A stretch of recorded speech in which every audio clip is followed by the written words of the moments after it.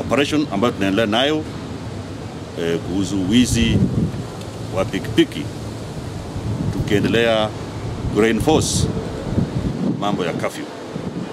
Ningependa kusema ya kwamba katika hii police station ya Lari tumeweza kukamata pikipiki kadha wa kadha ambayo zilikuwa zimebeba watu na zingine zimeibwa mahali mbalimbali na watu wakaumia. Pikipiki hizo tuko nazo hapa kwa police station, wenyewe wameweza kuzitambua na wameenda kuleta eh, eh, takabathi ama documents ambayo inatakana wawe nazo wakati mazaa ya kafyu inaendelea. Utakuja ona ya kwamba pikipiki hizi zilikuwa zinaibiwa wakati ikaribia mazaa ya kafyu.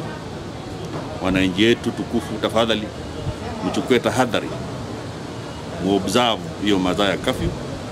Ikifika saa kumi na mbili na nusu jitayarishe kwenda nyumbani, uwe mzazi uwe mtoto, watu yote ni mzuri muwe kwa maboma zenu.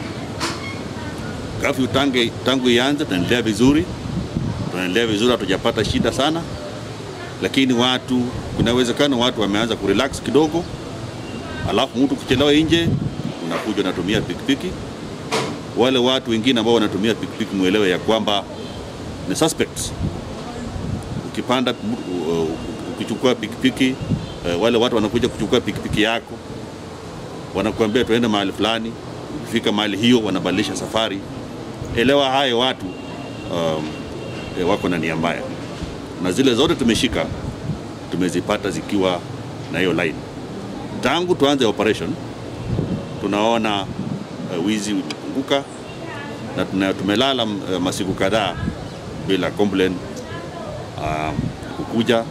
Na wale suspects tuko nao wametupea habari muhimu kuhusu hii racket ya wizi wa pikipiki, na hivyo karibuni tutapeleka watu kotini.